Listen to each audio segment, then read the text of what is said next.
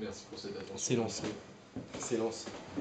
Alors, oui, donc je vais revenir sur ce dont on avait commencé de parler, justement le fait que dès l'instant où on se trouve à observer en nous-mêmes des mécanismes, alors euh, la fameuse suite dont on parlait, euh, Serge, Fabrice, vous l'avez lancé, c'est évident, on se trouve à évoquer euh, l'individu qui nous pose une question, qui est crucial, qui est important, qui est dans l'essence de lui-même, dans le plus important, et puis nous, on a peur. Ça en nous a peur. Une instance en nous a peur et se réfugie dans mes. Euh, au fait, t'as pas vu ma collection de ceci Ou bien, ah, tu es au courant en politique, il y a tel événement Alors évidemment, oui, il va y avoir ces mécanismes-là. Mais, euh, disais-je, te disais-je, Fabrice, on peut les prendre à l'envers. Et les prendre à l'envers, c'est pour moi arriver à attraper, bien sûr, d'abord l'auto-observation qui se joue en nous, c'est-à-dire le processus qui se joue en nous que l'on peut observer, c'est-à-dire comment, quand je suis prêt à parler, je me mets à parler de tel événement, tel événement, tel événement. Mais, par contre, je peux m'apercevoir qu'à un moment donné, je suis agacé par ça. Parce que je m'observe tout le temps en train d'avoir ce mécanisme-là, tu en as parlé pour quelqu'un tout à l'heure, on va y revenir. Et à partir du moment où j'observe ces mécanismes qui reviennent et reviennent, quelqu'un en moi réagit peu à peu en disant n'est-il pas possible d'être ici dans le mécanisme quand il a lieu? Et dans le mécanisme quand il a lieu, au point de l'habiter, et si jamais j'ai, alors Serge tu me corrigeras, toute neurostructure euh, équilibrée, c'est ça à peu près, pour revenir sur le Toute neuroconnexion activée. D'accord. Alors surtout, je prends la neurostructure, donc on va dire euh, corporelle, la neurostructure, donc concerne mon corps, voilà, et je vais vers un tel, je vais lui parler, si je ne trébuche pas, c'est que c'est peut-être bon, tout le monde est d'accord. je parle à quelqu'un, donc neurostructure intellectuelle, si ce que je dis me semble cohérent, c'est bon. Si jamais mes émotions, motivations pour ce quelqu'un ou vis-à-vis de ce quelqu'un, cette ambiance, tout ça est bon aussi, alors c'est que tout est bon, et si tout est bon, je peux y aller, mon choix sera bon. Et si jamais on était sur le, phénomène, euh, tu avais évoqué Fabrice, alors que ce soit en amour, que ce soit sur le plan professionnel ou que ce soit sur le plan des hobbies, et on peut se dire, voilà, euh, j'ai une... Euh, je suis amoureux, je suis amoureux de mon travail finalement. Ce que je disais tout à l'heure aussi, si je suis amoureux d'une fille, je peux me dire, mais cette fille-là dont je suis amoureux, qu'est-ce qui est amoureux en moi? Est-ce que ce n'est pas mon psychonotype, donc ma machine, donc pas moi, toujours pas moi. Donc je pourrais être désamoureux au bout d'un moment. Par contre, si jamais, c'était là ma conclusion dans notre réflexion tout à l'heure, euh, si jamais je suis euh, amoureux de mon travail ou amoureux de mon hobby ou amoureux de tel ou tel être humain, mais en en prenant conscience, à ce moment-là, je vais m'apercevoir de comment c'est amoureux en moi, comme tu disais Serge, justement, des petites mécanicités. Et attrapant ces petites mécanicités, à ce moment-là, je peux réaliser, ah, ça réagit comme ci et comme ça en moi. Et donc, je vais pouvoir à un moment donné me dire, je vais être justement dans cet euh, ensemble, dans cette, ce, toutes neurofonctions euh, activées, et à ce moment-là, si l'autre en face, si l'ambiance professionnelle en face, si l'activité en hobby en face me correspond, eh bien, je vais m'y sentir bien. Voilà ma réponse, alors euh, à vous la parole.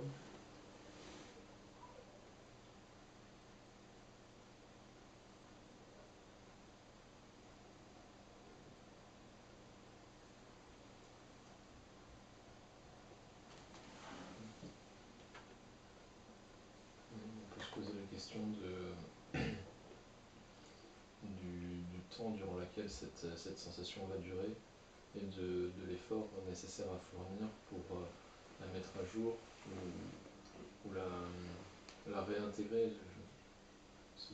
ce, terme me semble assez euh, pertinent de, réintégration constante des, événements, des, futurs, de, création de lien entre les événements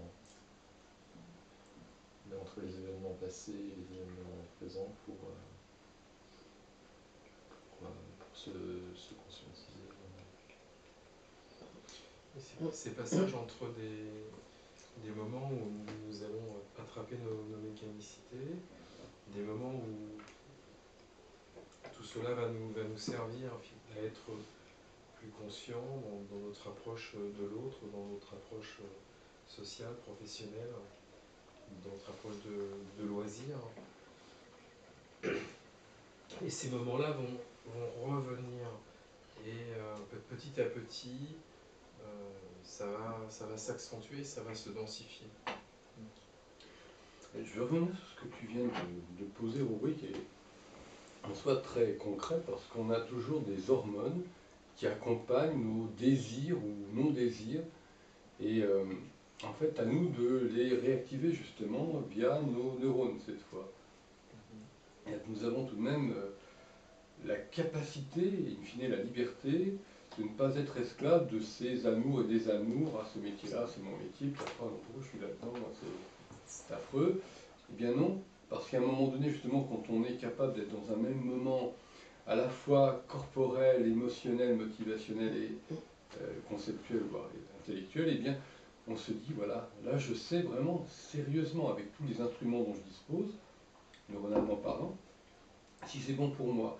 Et quand je me lance, l'hormone qui va se lancer dans ceci me plaît, j'aime, miam miam, bon, eh bien, cette hormone-là, même si elle dure un certain temps, les 3 ans, 4 ans, et puis elle s'estompe, eh bien, je peux la réactiver justement, parce que je sais comment elle s'est activée.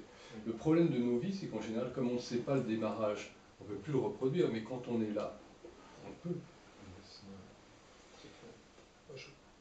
Lorsque nous choisissons, je prends un, un autre exemple, lorsque nous choisissons un, loisir. Par exemple, euh, si on s'intéresse à la, cuisine japonaise, on commence des, cours de, cuisine japonaise.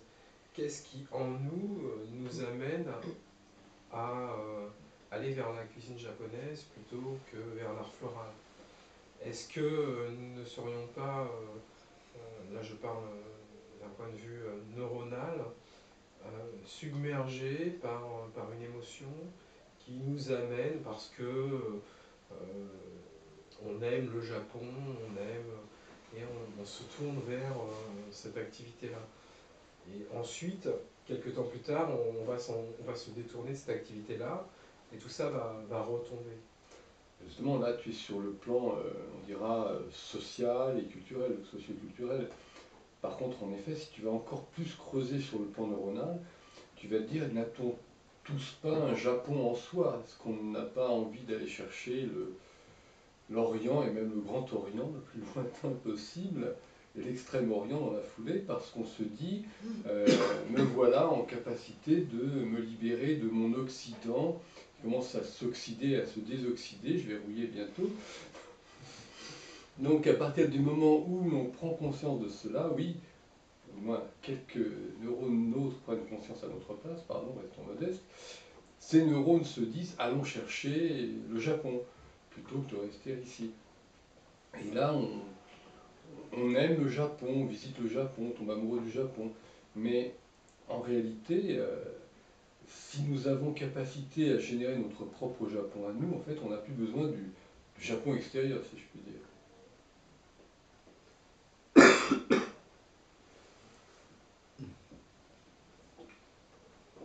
De Fabrice en, Japon intérieur. Je, euh, je, pensais justement à cette idée de. Dans, notre société, ça passe assez mal. Euh, euh, c'est montrer. ne pas montrer une ouverture d'esprit si on ne s'intéresse pas à ci, à ça.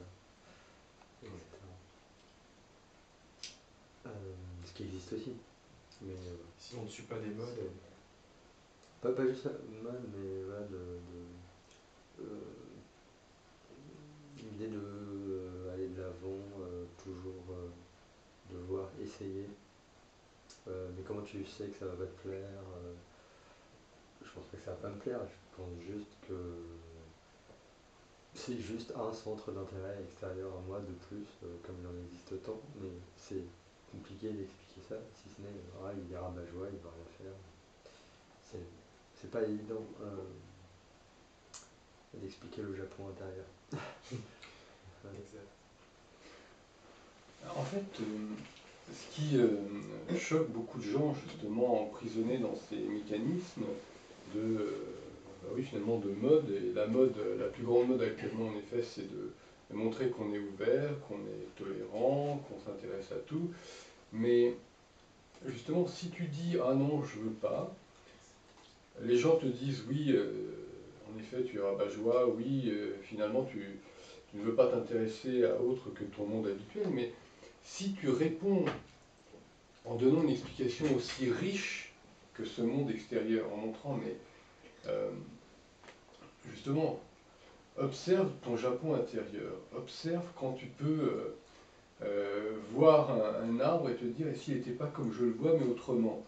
Et si jamais euh, je me promène et que j'écoute les gens, et au lieu de les écouter comme toujours, comme d'habitude, machinalement, si je les écoute comme si j'étais un, extraterrien venant de la planète Mars ou beaucoup plus loin, qui écoute des, des êtres humains, je me retrouve dans cet appareillage-là, j'ai dix doigts, des, petites pattes là qui s'animent, et je vais pouvoir attraper un, objet, je vais pouvoir manger, j'ai des mandibules dans ce sens-ci et pas dans ce sens-là.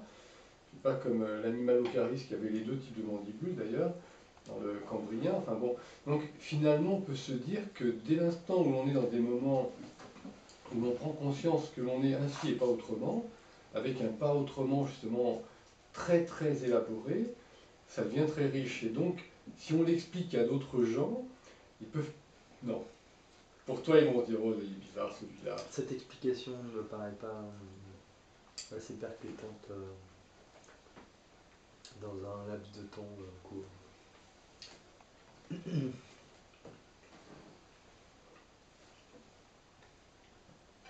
Alors, laquelle serait la plus percutante la figure, bien sûr, mais Je, dirais pour, en- pour en venir à ce dont je parlais tout à l'heure, sur, euh, sur le fait que lorsque euh, nous arrivons à attraper quelques mécanicités en, nous, il, euh, il peut nous arriver, par rapport, je reprends les, les exemples, l'exemple des loisirs, du choix des, loisirs, de trouver le loisir ou les deux ou trois activités qui nous sont importantes au-delà euh, de, euh, de, ces, euh, de ces conditionnements, au- au-delà des modes. Parce que nous devenons conscients qu'il nous est proposé des choix qui n'en sont pas. Donc, euh,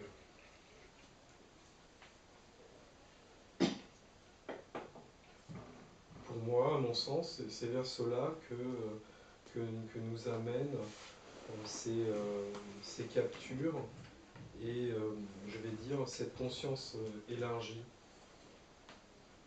de nous-mêmes et, de,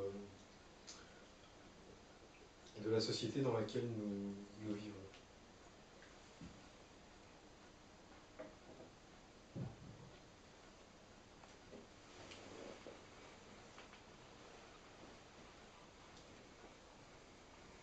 et comment on réagit au bruit Oui, c'est très pertinent ce que tu dis. Ouais, ça me ça parle euh, pour en revenir à, notre sens ou à notre essence. C'est euh,